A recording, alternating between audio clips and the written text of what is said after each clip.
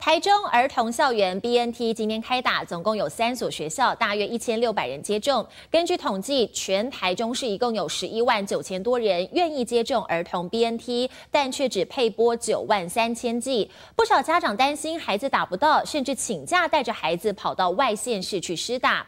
由于台中本土确诊案例暴增，连续两天都逼近万人，市府也规划原本儿童 BNT 预计六月二十九号打完，提前两个礼拜完成。除了台北市是六都当中最早打完疫苗的县市。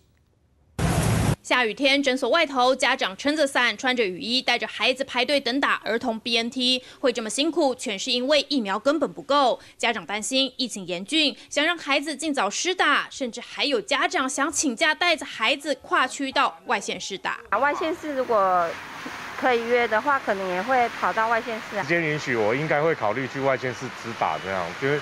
小朋友也是不能等啊！疫苗不够，家长只好自力救济，想其他办法。还有家长说，为何不能先发给学校，集体统一优先施打，造成每间诊所都得像这样子排队？还有里长直言，这根本是造成家长困扰。每季的护是足恐怖的啦，唔通过安尼个百姓糟蹋了。国小大礼堂内，学生排队卷起袖子，有的小朋友看到要打针，好紧张，还得要一名护理人员帮忙抓着，在旁平平安抚。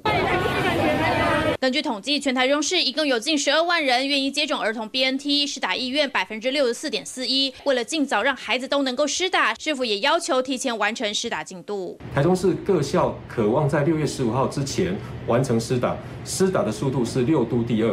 镜头转到云林，五岁到十一岁 BNT 施打意愿百分之五十二点三，一共有一万两千七百八十五人，目前疫苗量一万六千剂，校园预计三十一号开打，而诊所早在二十五号就已经开放。没有疫苗啊，公家的政策是希望建立在学校打，所以我们现在领不到疫苗啊。医师说，诊所外头天天有民众来排队，全是为了施打 BNT 疫苗，但无奈诊所只有四十个名额，疫情烧不停，也烧出家长们的恐慌。接种部综合报道。